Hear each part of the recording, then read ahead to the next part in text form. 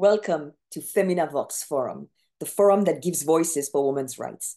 My name is Gila Clara Jesus. I'm a UNESCO Artist for Peace, and I'm delighted to present you some of the most famous voices in the world, Nobel Peace Prizes, or even princes, even first ladies, but also some voices that you may not know because they are from the ground. They are from all over the world, men and women together fighting for more equality. Under the high patronage of UNESCO, together in collaboration with Global Network for Peace Education, we're going to try to find solutions. We're going to try to understand best practices, and we're going to try to understand also where we're at in terms of women's rights today. What is the link between women's rights and peace education? Well, of course, equality. When it comes to more equality in the world, peace will arise. And this is what we hope.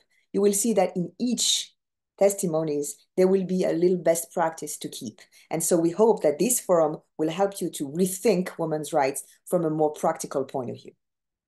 Some very important things for you to know. This forum is translated into French, English, and Spanish. If you go on you know, bar, toolbar, you will see a little globe and you can click on interpretation in order for you to choose the language you want, English, French, or Spanish.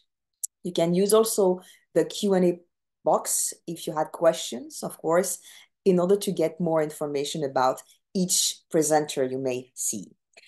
We really hope that this forum will help you to rethink women's rights this thematic, this topic this year will be following the United Nations topic, which is Invest in Women, Accelerate the Progress.